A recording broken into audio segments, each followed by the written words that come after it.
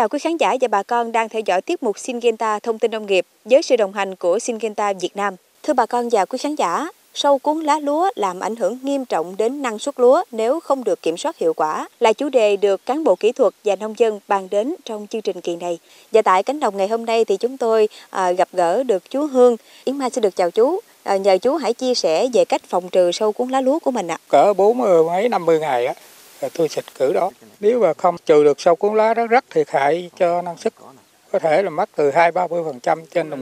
Tôi có phòng trừ uh, thuốc uh, chỉ sâu cuốn lá là Incibio để trừ sâu cuốn lá lúa trên đồng ruộng của tôi. Với thuốc trừ sâu Incibio thì uh, chú sử dụng thời điểm nào để diệt sâu cuốn lá hiệu quả nhất vậy chú? Hiệu quả nhất là sau khi bướm gỗ. Sau khi bướm gỗ 3 ngày, hiệu quả rất cao. Dạ con xin được cảm ơn chú. À, thưa anh Chí, về phía công ty Syngenta thì có những giải pháp nào để giúp bà con phòng trừ sâu cuốn lá lúa một cách hiệu quả nhất ạ? À? À, về đối tượng sâu cuốn lá lúa thì à, đối tượng này nó à, xuất hiện rất là nhiều lần trên một vụ lúa Ờ, và khi mà cây đặc biệt cái giai đoạn là lúa từ lúc trổ ờ, trở về sau á nếu như mà cái lá ờ, bộ ba lá đài mà nó bị sau sâu cuốn lá cắn phá đó thì nó ảnh hưởng rất là mạnh rất là nặng cho cái đồng ruộng của mình ảnh hưởng về năng suất lúa không vô gạo được. Về uh, á, thì đây là thuốc trừ sâu thế hệ mới với cái hoạt chất hoàn toàn mới kênh tác động uh, vào cái vị trí là GA3 uh, ờ, mới thì lúc này uh, cái con ờ, sâu á, mà khi mà nhiễm thuốc đó nó sẽ bị cái tình trạng là co giật liên hồi và nó uh, sẽ không gây hại nữa dẫn đến chết.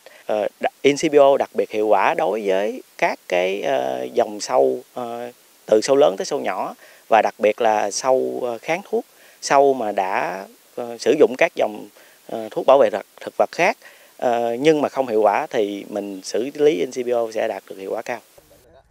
Đặc biệt lưu ý là bón phân.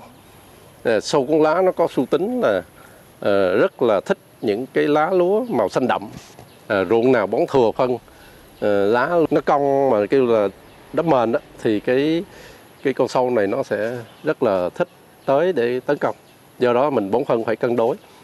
À, và cái việc mà gieo xạ với cái mật độ vừa phải Ờ, không gieo xạ quá dày và nữa là chúng ta chỉ lưu ý khi cái mật số con sâu này bà con nông dân có thể là tác động bằng thuốc thì thường là trung bình trên mét vuông thì nó phải trên dưới từ 5 70 con trở lên.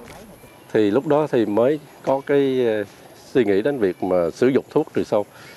Ừ, đặc biệt lưu ý là giai đoạn làm đồng trổ. Thì chúng ta nên lưu ý giai đoạn đó. DCBO diệt sâu chấn động. Một cơn địa chấn vừa bất ngờ xuất hiện. À, chấn động, chấn động, chấn động. Incibio tác động đột phá sâu co giật liên hồi diệt sạch sâu kháng cả sâu gây lửa hiệu quả triệt để cắt cả lứa sâu bảo vệ tối đa lúa trổ đồng wow Incipio diệt sâu chấn động hả? Hả? cho gói Incipio Incipio diệt sâu chấn động